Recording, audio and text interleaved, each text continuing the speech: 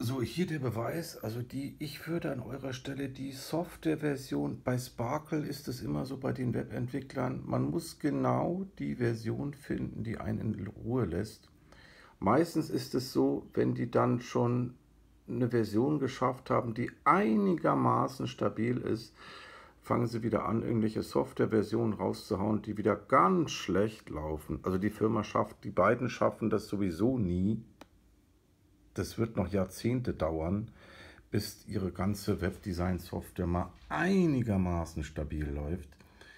Also die Version 5.2.4 habe ich durchgetestet und die 5.2.5.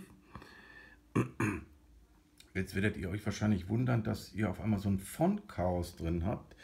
Also man sieht hier, das ist der Font Dosis das ist ein Google-Font, da streiten sich ja Juristen und Datenschützer, ob man jetzt die Fonts auf seinem eigenen Webserver hostet oder ob man jetzt die Fonts sich von Google zieht und dann Google jedes Mal weiß, wer auf die Seite drauf zugreift.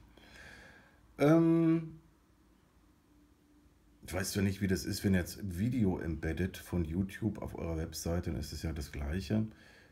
Wie auch immer. Also, ähm, und selbst da kriege ich meistens dann irgendwelche Google Search Console Warning, Warnings, wenn ich auf History of Aviation mal ein YouTube-Video embedde auf der Homepage. Wie auch immer, das können euch Juristen besser beantworten. Also ich, mir geht es jetzt darum, dass mich das jetzt richtig nervt, weil den Font Terminal Doses, den habe ich hier niemals installiert. Den gibt es auch gar nicht. Es gab bisher nur den Font Doses, den Font Terminal Doses, den kenne ich gar nicht. Das hat mir jetzt das Programm hier reingeklatscht. Ich weiß nicht, wo das herkommt, der Font Terminal Doses. Doppelt gemoppelt. Also das sieht ja vom Schriftschnitt her und von, von der Typo sieht es ja genauso aus wie Doses. Die hauen mir jetzt aber Terminal Doses hier rein ins Fontmenü äh, obwohl ich gar nicht Term den Font Terminal Doses hier installiert habe. Das können euch die Entwickler bis heute noch nicht erklären. Also ähm, wie dieses komische Panel hier funktioniert. Hier erscheint auch kein Font Terminal, doch hier Terminal Doses ist auf einmal drin.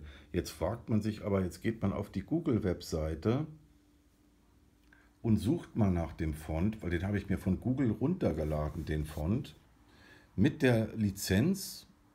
Da müsst ihr aufpassen. Also wenn ihr da mal einen Font runtergeladen habt,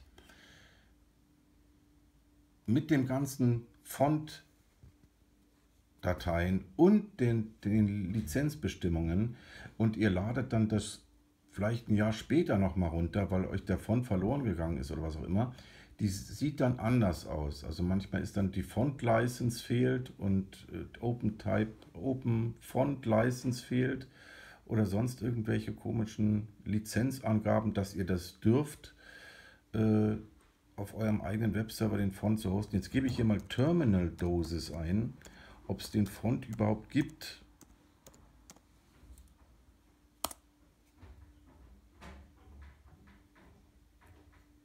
Can't find any fonts. Den Font Terminal Doses, den gibt es gar nicht. Also ich weiß nicht, was ich hier die Sparkle Pro danken will. Cox und sein französischer Teamkollege sich haben wieder einfallen lassen. Daniel Trambusti. Ähm, also da, wie gesagt, schmeißt, also da irgendwas stimmt da nicht bei dem Programm. Wie gesagt, bleibt bei 523, irgendwas läuft da gerade kacke. Meine, also das ist wirklich kacke. Also weiß nicht, was die da rumfunzen, die da rumfrickeln. Ich habe die eigentlich hier installiert, die Fonts. Den schmeißt er mir jetzt raus, den Dosis aus Custom Fonts. Und dann haut er mir jetzt aber Terminal Doses hier rein. Und ich habe das dann mal versucht, hier wieder Doses reinzuhauen in Custom Font Families. Und dann steht aber immer noch Terminal Doses. Also ich werde mir jetzt sicherlich nicht die Mühe machen, die ganze Webseite, die ganzen Headlines von Doses in Terminal Doses umzubenennen für einen Font, den es auf Google gar nicht gibt. Also schmeißt die Version, die veräppeln euch wieder die beiden Entwickler, Daniel Trambusti und Duncan Wilcox. Ich würde an eurer Stelle die Version 5.2.5 und 5.2.4 von eurem Rechner wieder löschen und bleibt einfach bei der 5.2.3.